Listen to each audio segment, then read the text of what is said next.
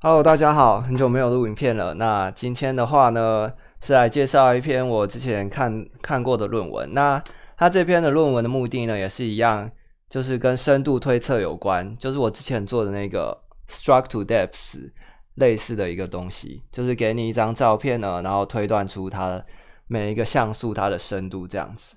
那这篇论文它其实是从二零一八年十二月就已经有了，然后它就期间经过了很多次更新。然后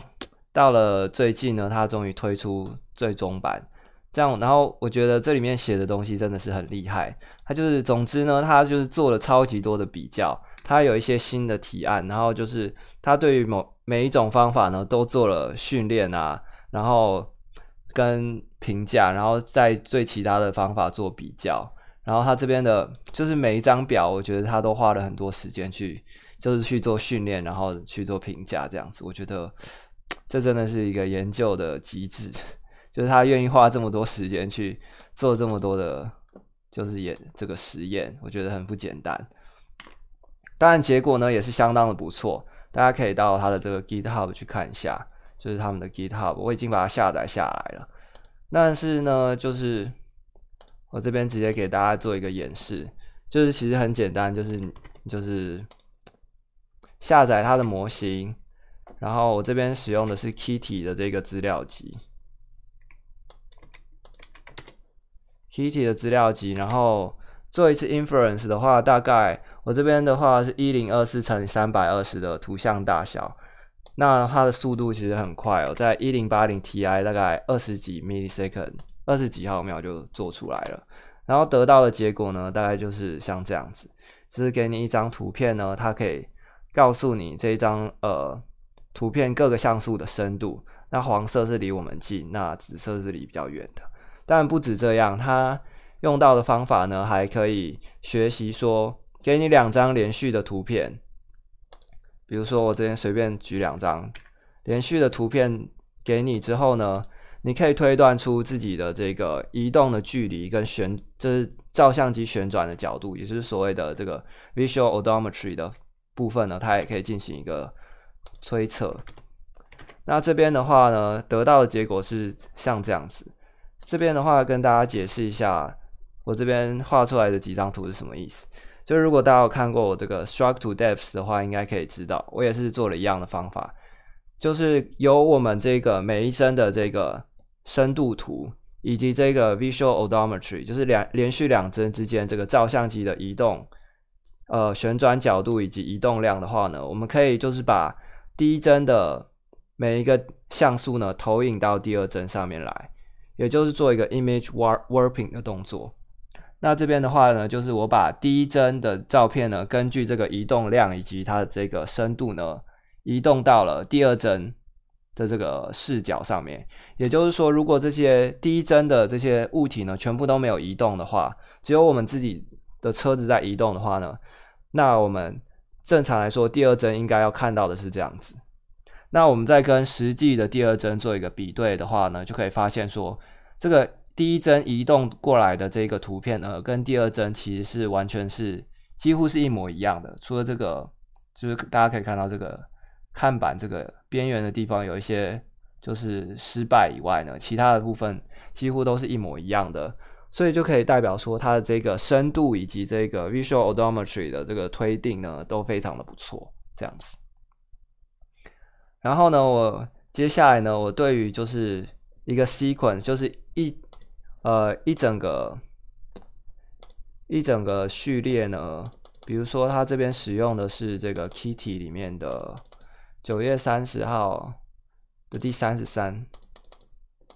就是对于这整个序列。这样子，我就是对于这整个序列呢，进行了每每一帧的这个深度的推测，以及每两帧之间的这个 visual odometry，然后我把它做成了一个影片，然后分享给大家看一下，就是得到的效果是怎样。mono depths 这边，那这是 Kitty 的结果，就是这左边是原本的照片，那右边是深度的推测，那最右边的话呢是。就是 visual odometry，就是蓝色的话是真真正的，就是经过的这个经过的这个坐标。那这个橘色的话是呢，根据这个 Visual Odometry 所推定出来的我们经过的坐标。所以大家可以看到，说到这个目前这个位置为止呢，都还跟真值呢相去不远。当然就是说。这个的话呢，也是就是它的误差会慢慢的累积上去啦，就是因为它没有做任何的什么 loop closure 之类的，它就是每两帧之间的这个 visual odometry 一直累积上去而已，所以误差是会越来越大。大家可以看到说它到这里呢，已经跟这个真值呢有一段差距。那如果我们跳过往后的话，就可以看到说它在这里已经就是离真值相差蛮大的一段距离了。嗯。但这个深度的话呢，看起来是实际上还是不错的这样子。然后直接跳到最后，直接跳到最后的话，就是说这个真值呢，跟我们推测距大概已经相差了两百公尺了，所以这个地方可能还是这个模型可能需要加强的一个部分。然后呢，它在这个。GitHub 里面呢，他也教你说如何在自己的 data 上面进行一个训练，就是这个部分，你要自己写一个 data loader 这样子。那我自己写好了，就是我在这个 ApolloScape，ApolloScape 这个数据集，就是我之前有没有介绍过？好像有介绍过这个 ApolloScape 的数据集，它这个里面就是有 video 之外，也有这个 segmentation，所以我把它下载下来。就是我对于这里每一个 re 每一个这个序列呢，我都把它进行一个训练这样子，然后呢，我也一样把它做成了一个影片，然后让大家看一下我训练的成果。我在训练的话，训练了很很短的时间，大概才五个 epoch 而已。我是由它的这个原本在 Kitty 已经训练好的这个模型，再加 fine tuning 这样子，就是训练五个 epoch。在一零八零大概花了四十个小时，然后就把它停止，然后让它做一个推论。那就是在 roll 零四 seg 这个 record 二十一这个 sequence 上面也做了一个 video。那这个图片大小把它缩小成了六百四十乘以五百一十二，原本是三千三百八十四乘以两千七百一十这样子。大家可以看到这边，我从头开始好了。就是不知道为什么他在训练的时候，这个天空的部分呢，这个效果不是很好。天空的话，正常应该都是像这样子，就是完全黑的，就代表距离是无限。但是它这边的话，不知道为什么，还有这边就是会有一些奇怪的，就是奇怪的深度推测。不过其实也不是很重要，因为天空的话跟我们自动问自动驾驶没有任何的关系。那在人的部分呢，这些车子啊，就是也是相当的不错。不过有一个地方还是令我比较在意的，就是他在原本的论文里面有讲说，就是因为我们这个单一帧照片或是单一个照片的这个 sequence 用来做训练的话，还有一个很常见的问题，就是我以前也讲过，就是如果有一些物体是跟我们自己的车子呢，它移动的速度是差不多的话，那这个深度推测就会把它推测到无限远。例如说我们自己的这个车身。因为它每一帧的这个长相都完全一模一样，所以这个神经网络就会把它推测到无限远。那原本的论文呢？哦，我把它关掉。他有讲说说他用了一个方法叫什么 auto masking，它可以就是有效的防止距离推测到无限远的情况发生。但是其实上呢，还是它还是发生了。我们撇除掉自己的车子车身不讲，像我们这个前方这一台车，它跟我们速度应该是差不多的。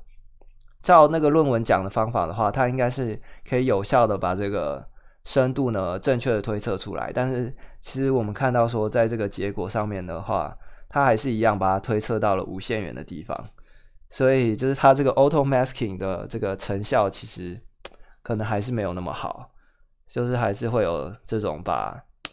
跟自己移动速度差不多的物体的这个距离推测到无限的这种情况发生。所以这个问题呢，可能还是到目前还是没有什么好的解决的方法。那我们继续看下去，就是它这个 sequence 一开始就向右转，然后这边已经越差越多了，然后再往后，它这边再度往右转，然后变成这个样子。大家可以看到这边也是一样，就是不知道为什么这些车子的距离，它都把它推推成无限。这嗯，不知道为什么。然后就这样到最后。不过其他的部分的话，深度的话，我觉得都是还不错的这样子。那这个 Visual Odometry 的话呢，虽然大家可以看到说。就是单纯只用两针之间的这个 odometry，它的效果并不是很好。但是呢，如果我们再加上一些其他的什么 localization 的方法，就是如果我们有地图的话呢，再加上这个 visual odometry，我觉得可以做出一个不错的效果来。就这样子的话之后，你就可以不需要依赖什么 IMU，因为 IMU 的话呢，IMU 就是在车子里的一个记录你这个移动的距离的一个装置，但这个装置呢，就是。在前进的时候，这个推测效果还不错，但是在你转弯的时候，它的这个旋转角度的推测相当的，就是会有一些误差。如果根据这个 visual odometry 来这个进行这个修正的话，我觉得还是一个不错的选择。而且这种方法学习方法最好的好处就是它不需要任何的标注，你只需要给它，你只需要给它这么多，就是连续的这些影像就可以了。它就可以自己学习这个深度以及这个 visual odometry，所以你就是你只要一直开车，一直收集资料，让他自己学习就可以了。这是我觉得一个相当大的好处。所以呢，我觉得以后呢，这个领域呢，应该是会有更多的研究者来加入这样子。那今天的话就先介绍到这里，就是介绍这个新的这个 Mono Depth 二。原本的话，那个人。这个论文的一作是这个 Clement Goddard，他是那个二零一七 CVPR 就是 Mono Depth 的作者，可以打给大家看一下这个 Mono Depth。当时他是用了 Stereo，就是左右两个照相机它的这个 Disparity 来做学习，但是效果在当时是很好，但是现在已经不怎么样了。所以最后呢，大家都改成用这种一个 Video，就是连续的这个相片来学习的方法。这样就省去了什么 stereo 它的这个 calibration 的问题，你就只要一直一直开车，然后一直收集这些照片，它就可以自己学习。我觉得这个学习方法真的是能想到的人真的是很厉害，效果也是非常的不错。好，那今天就先介绍到这里啦，谢谢大家。